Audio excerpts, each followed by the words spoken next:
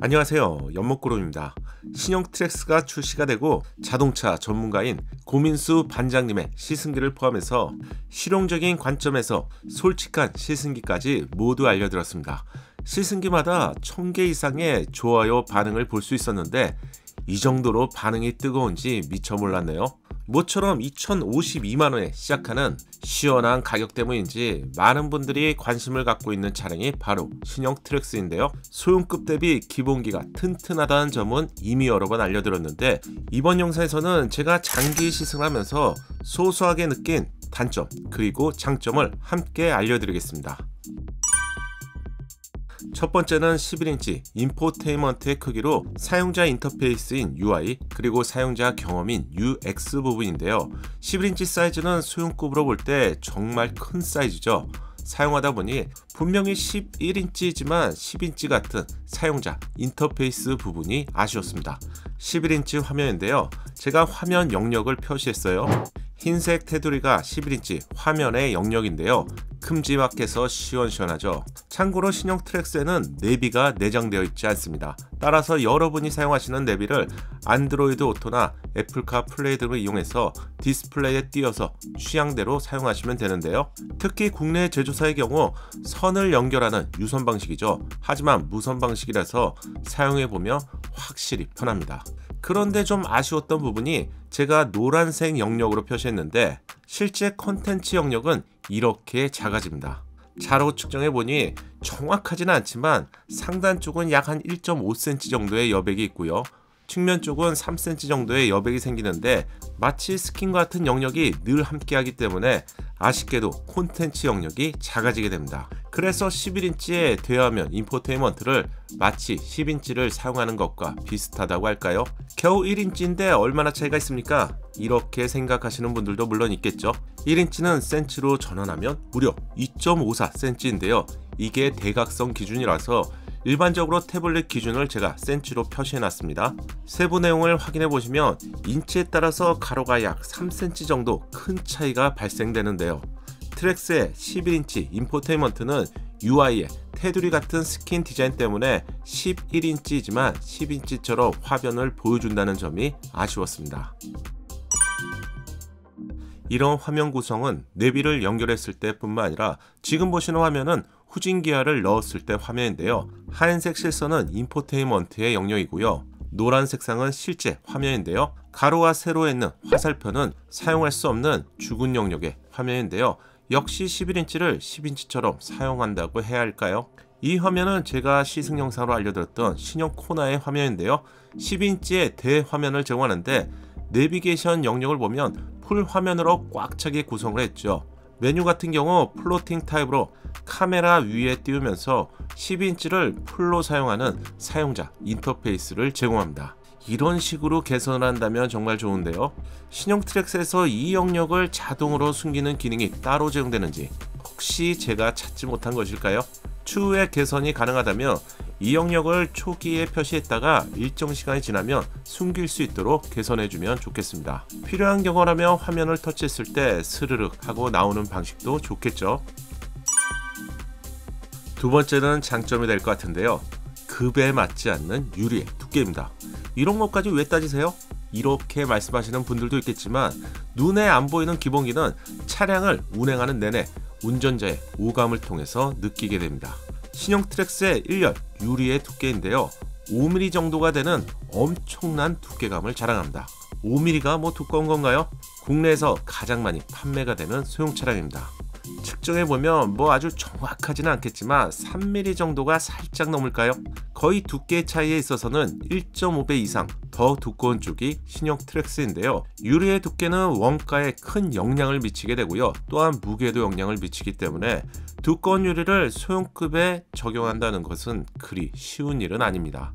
이 차량은 제네스 G90 1열 유리인데요. 아주 정확하지는 않겠지만 거의 50mm 정도의 이중 접합 차음 유리를 제공합니다.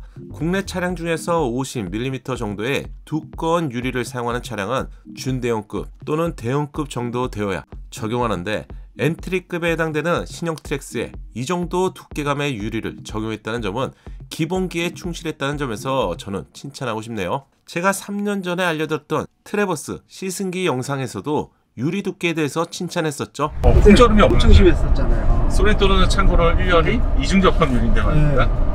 어떻게 보면 이런 부분도 우리가 뭐 이중 접합률이 무조건 조용하다 음, 그건. 그런 건 아닌 것 같습니다. 그렇죠? 당연히 이중 접합 유리라고 생각했는데 두꺼운 유리를 1열에 적용했습니다. 말이 나온 김에 기본기를 하나 더 보여드리겠습니다. 엔진룸을 열면 전륜 바퀴가 차량과 결합되는 마운트 부분을 볼 수 있습니다. 양쪽 동그란 부분이 바퀴와 연결되는 쇼업 쇼버 상단 부분의 마운트인데요. 확대해서 보면 뭔가 좀 다르지 않나요? 보통 볼트 3개로 구성되어 있는데 2개의 뾰족한 홈을 추가로 볼 수 있죠. 이 차량은 국내 소형 차량입니다. 동일한 부분을 확대해서 볼게요. 3개의 볼트로만 체결되어 있습니다. 신형 Trax는 mount 부분을 국내 차량과 동일하게 3개의 볼트로 체결하고요. 여기에 다시 2개의 사이즈가 좀 다른 구조물로 보강해서 마운트의 유격 및 체결 강도를 좀 더 높일 수 있게 보강되었는데요. 제가 보기엔 중간 부분도 합금 소재를 한 번 더 더하면서 좀 더 신경 쓴 것 같아요. 그런데 이게 다가 아니죠. 볼트 부분을 보면 쇠를 접어 놓았는데 쇠를 접으면 강성이 올라갑니다. 강성에도 한층 더 신경을 쓴 것이죠. 채널에서는 차량에서 기본기가 가장 중요하다고 알려드리고 있고요. 신차가 출시되면 하체를 가장 먼저 보여드리는 이유가 바로 여기에 있습니다. 소형급이라고 해서 부족함이 없는 주행 성능을 보여주는 이유가 바로 기본기에서 시작이 됩니다. 다시 냉정한 시각으로 돌아가서 인포테인먼트와 함께 후방 카메라의 화질은 좀 아쉬웠습니다. 지금은 밝은 주간 상황인데 영상에서는 잘 보이지 않을 것 같은데요. 노이즈가 생깁니다. 물론 밝은 낮 시간에는 불편할 정도는 아닌데요. 하지만 야간에는 화질 열화 현상이 크게 느껴지는데 이 부분은 국내 제조사가 훨씬 뛰어난 것 같습니다. 장기 시승하면서 사용할 때마다 화질이 떨어진다는 점은 잘 맞는 차량에서 5개 T라고 해야겠네요. 그리고 방향 지시 등을 작동하게 되는 레버의 위치도 좀 아쉬웠는데요. 이건 여러분들이 구입하시기 전에 대리점에 가셔서 시승하신다면 꼭 체크리스트에 두시고 비교해 보세요.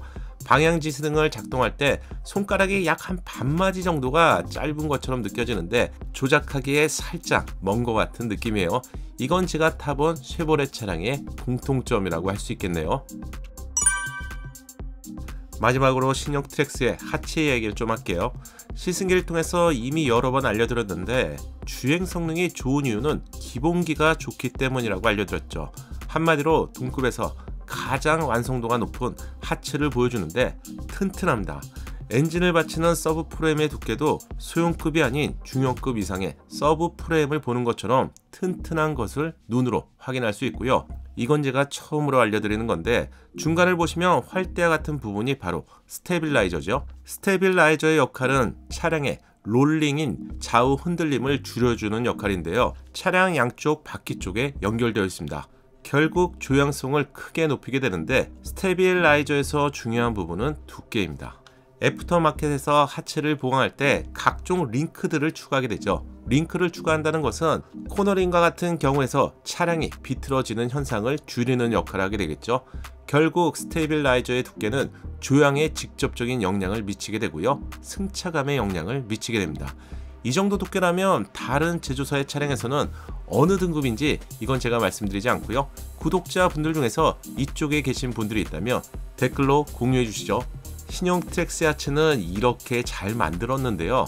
아쉽게도 하체에 커버가 제공되지 않죠. 사실 별것 아닌 것이 될 수도 있지만 감성을 높이는 부분이라서 하체 커버는 좀 제공되면 좋을 것 같아요. 이 정도로 제가 쉐보레 차량을 장기 시승하면서 느끼게 되는 공통점을 알려드렸습니다. 기본적인 하체만큼은 칭찬하고 싶고요. 인포테인먼트와 같은 편의성, UI, UX는 개선이 가능한 부분이라고 생각하는데 한국 GM 쪽에서도 빠르게 체크해 주시면 좋을 것 같네요. 여러분의 생각을 댓글로 함께 알려주세요.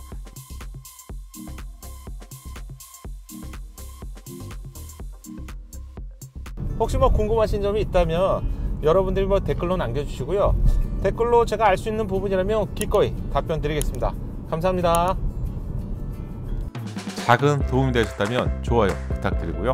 구독과 알림 설정을 통해서 정확한 신차 정보를 빠르게 만나보세요. 감사합니다.